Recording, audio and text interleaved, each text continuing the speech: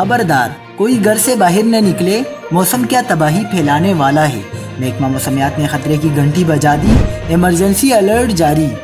ताज़ा तरीन वीडियोज़ के लिए चैनल को सब्सक्राइब करके बेल आइकन और ऑल नोटिफिकेशन पर क्लिक करें।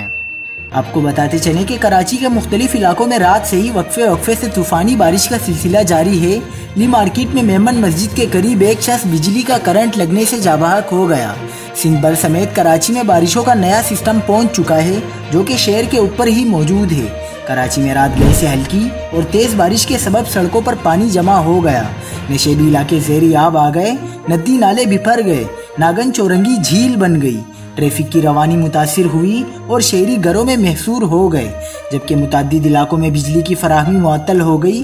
महकमा मौसमियात के मुताबिक, आज कराची में तूफ़ानी हवाओं के साथ 200 मिलीमीटर तक बारिश हो सकती है, जबकि शहरीों को बिला ज़रूरत घरों से बाहर न निकलने की हिदायत की गई है।